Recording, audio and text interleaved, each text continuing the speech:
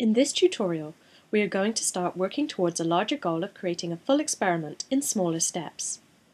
The experiment we will have in the end will be a Simon effect experiment. In a Simon effect experiment, red and blue boxes are shown on the left or right of the screen. When participants see a red box, they may be asked to push the left button. When participants instead see a blue box, they may be asked to push the right button. The side of the screen that the box appears on is unrelated to the task, but when the red box appears on the left side of the screen, responses are faster than when they appear on the right. Instead of going directly towards the finished experiment, we will use each step along the way to illustrate presentation features and programming concepts, often making short tangents. Let's start with the basic stimulus display. For the coloured boxes, we will use the type box. When you are working with any presentation object type, there are two places in the documentation that are helpful. The first is the PCL reference section that we have discussed before. This page is useful when you already know basically what the type represents and how it works, but want to find specific information about properties and methods. In addition, each type is discussed in the main text of the documentation. For example, there is a box picture parts page within the main section on stimuli. We will create a box object using SDL, using the reference page to find the available properties and corresponding SDL parameter names.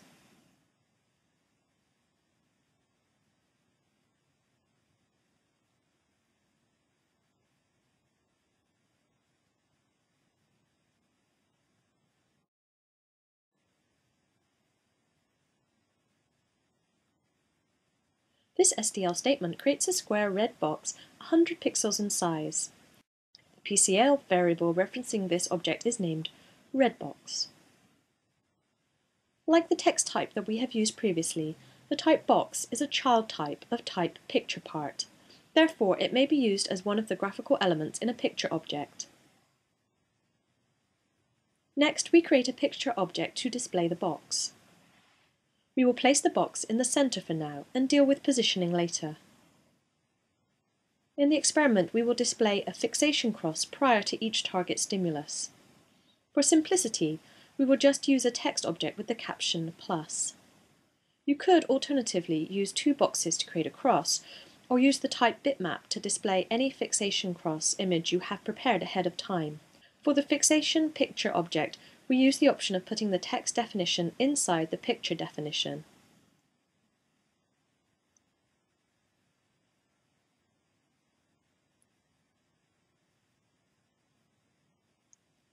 To take a quick look at these stimuli, we can use the picture type method present and the wait interval function we used previously.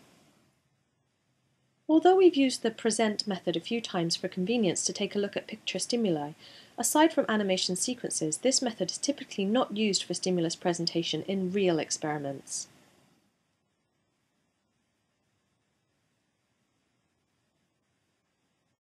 Instead, we use an important type in presentation called trial. Trial objects handle the presentation of a sequence of one or more stimuli with specified timing. This allows presentation to prepare and schedule stimuli as precisely as possible. While a trial in presentation may be equivalent to what you consider a trial in your experiment, it does not have to be. A trial in presentation may contain any arbitrary sequence of stimuli which might represent only part of a trial in your experiment, or even several trials. In what follows, when we use the word trial, we refer to the trial type in presentation rather than the general experimental term, unless specifically noted. We will start by showing the fixation picture for 500 milliseconds and then the red box. It's most convenient to define trial objects in SDL. For each stimulus in the sequence, we first state what stimulus objects to use. This syntax is similar to how picture parts are listed in the SDL definition of a picture object. Following the stimulus object declaration, we can define parameters that affect this particular presentation of that stimulus. For the moment, we will only define timing-related parameters. This time value is relative to whenever this trial is presented. To continue with the next stimulus in the sequence, simply specify another stimulus object. Again, following this are any parameters related to that stimulus presentation. Here we show the box at trial time 500 milliseconds. The type trial also has a present method that presents the entire sequence, which we use in our PCL program.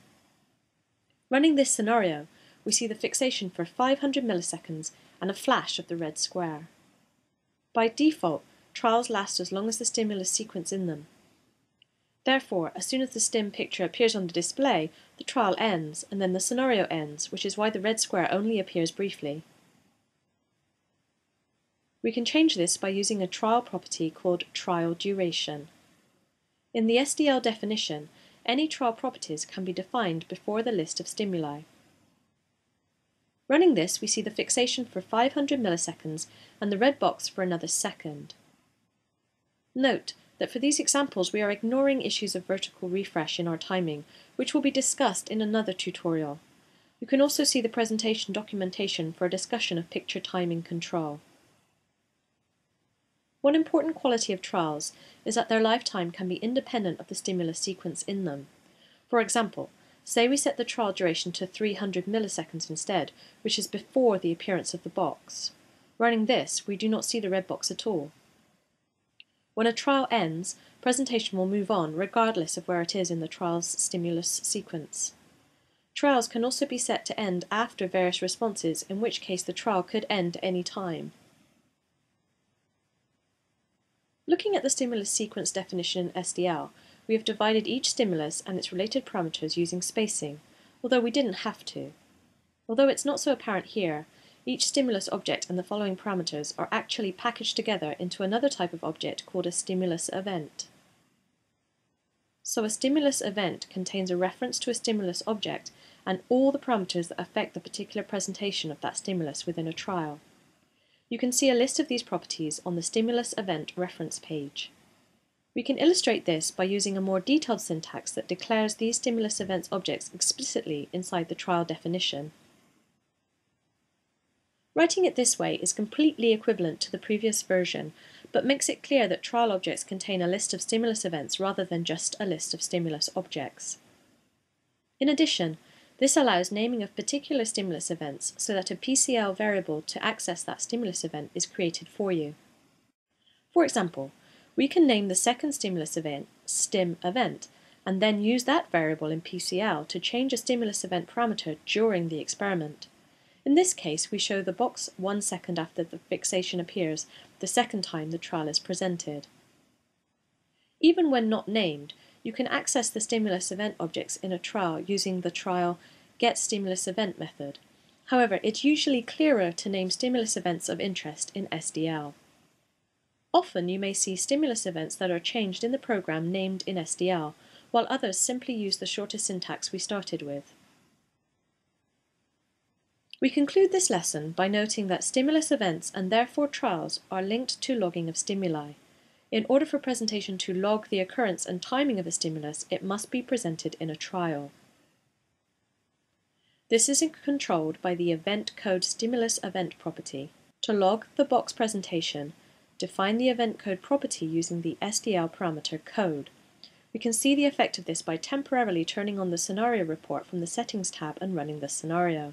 Using the picture present method to display a picture stimulus would not produce such an entry. Trials have many other features and properties that are applicable in different situations. We will explore many of these as we build our experiment.